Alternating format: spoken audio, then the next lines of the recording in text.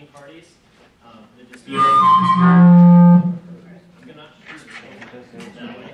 Um, the dispute resolution service um, is a party of FERC that um, they're not environmental staff. Um, they're mediation. They're kind of arbitrators who go between. You can work between a landowner and the company to help uh, come to uh, the, the agreement between the two parties. Um, their number is in some of the information that's outside, so that is available. Um, some states do have uh, provisions for granting eminent domain for surveys only, so that would be for a civil survey or an environmental survey. I can't remember off the top of my head if Georgia has that.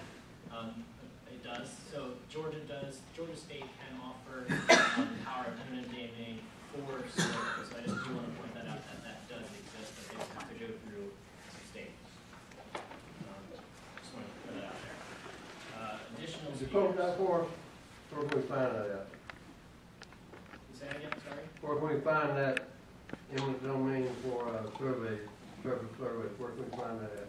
Um, I have to look. I Yeah, got, I we have got to from look the up- attorney right here, you can read it if you want to.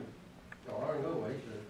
I, I One of those- don't have that information in front of me, we can look that up, you know, after No. meeting and try and get. Sabal that to you. Trail doesn't have a user in Georgia, so eminent domain has no effect in Georgia right now.